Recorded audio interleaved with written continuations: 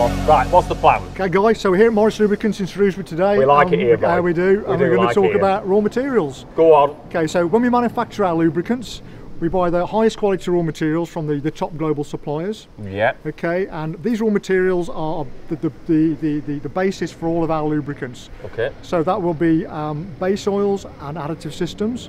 Right. And where right. we So are- what's the base oil? That's not what's coming out of the ground. Not No. not like a crude oil. No, crude oil has to be refined to a different level before we can use it in our Oh, so industry. it's not coming out the seabed No. to Shrewsbury. There's a lot of processing goes on between that and by the time we receive it so that we can use it to make finished lubricants with. Right. Okay. Okay, so so the base oil So is it coming from an oil refinery? Yeah, it will come from an oil refinery, yeah. Oh, so it comes right. So the base oil right, generally Yeah. comes from an oil refinery to you boys. And, and there's lots of different types of oil refineries as well. So the, yeah, absolutely, yeah. So the ones that will will take it out of the ground and refine it, but then a lot of the materials which are refined from that are then taken to different processes and refined in lots of different ways. right. Okay. So a lot of our okay. base oils have lots of different processing behind Are them. they all done in this country? Um, majority are done overseas now. Are they? Yeah, we used to have a lot of refineries in the UK, but not anymore, unfortunately. Right. Okay. So most of it is imported from from overseas. It could be the okay. States. It could be mainland Europe. Absolutely, yeah. Yeah, Um, right. But where we're standing today, this is these are um, additive storage tanks. Big old these tanks are- there, boy. Yeah, 50,000 litres in there. So this the, the additive system is, is the chemistry. So it's the chemistry that turns that base oil into a functional lubricant. So we can make an engine oil, a gear oil, a So hydraulic. your, your base oil tanks are loads bigger than these. Yeah, so yeah, so these are 50,000 litre, okay? The base oil tanks are 100,000 litre and above, basically. Yeah, Because if you look at a How much base oil are you getting through through a week?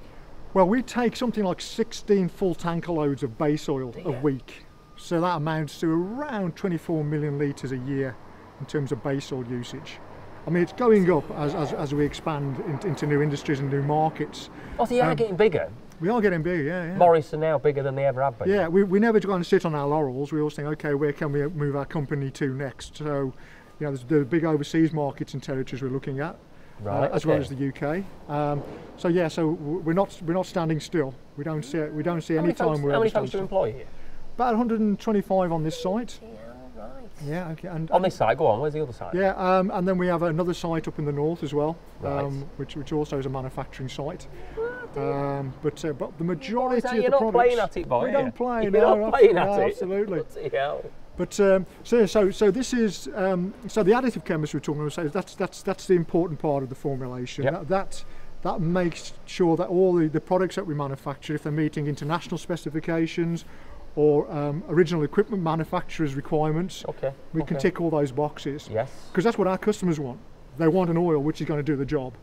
So we have to make sure we are bringing in the correct base oil technology, the correct additive system chemistry to make the correct lubricant. hell, there's a lot to, to it, do boy, that. isn't there? Absolutely, yeah. There's a lot to it. And that's just the first God. stage. So um, well, we're moving on to the next stage now, Guy, which is quality control. Oh, sound. There we go.